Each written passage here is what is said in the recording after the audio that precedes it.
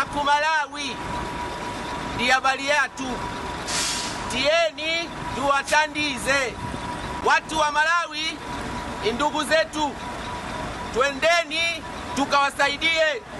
Mmenisoma wapiganaji?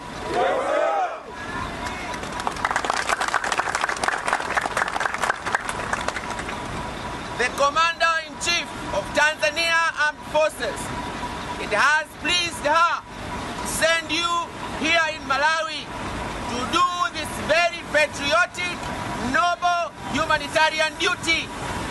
Go do it with honor, with honesty and respect for our country. Amiri Jeshi Mkuu wa majeshi ya nchi yetu imempendeza na Watanzania awatume hapa Malawi kufanya jukumu hili la kizalendo na la kiutu kwa ndugu zetu wa Malawi, mkalitende kwa uaminifu, kwa uadilifu na kwa heshima ya nchi yetu.